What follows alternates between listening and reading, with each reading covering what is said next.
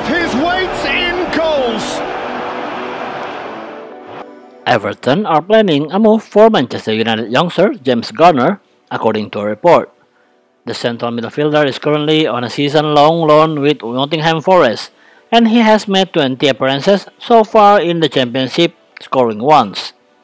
During the previous campaign, he spent the first six months playing for Watford before making the move to the Reds where he has been ever since with the 20 years old featuring 7 times for the Devils first team.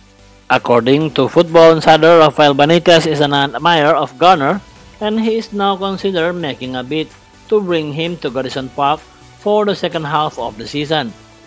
Manchester United will have to terminate his current loan with Nottingham in order to make any potential transfer happen, but the Toffees are hoping to add more depth to their squad in January. Everton have already been active within this window with the club signing Nathan Patterson from Rangers and Vitaly Mykolenko from Dynamo Kiev.